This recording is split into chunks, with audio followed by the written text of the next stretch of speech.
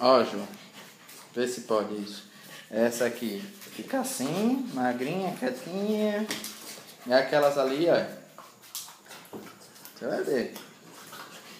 Se conheceram, já são grandes amigas.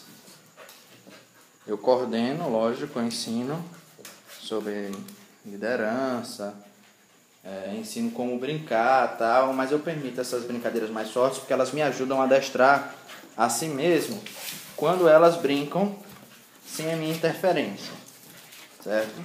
Porque elas aprendem sobre força de mordida, sobre disciplina em matilha, é, sobre dividir objetos, quando eu não participo. Quando eu participo é só para mostrar aí, eu não quero isso.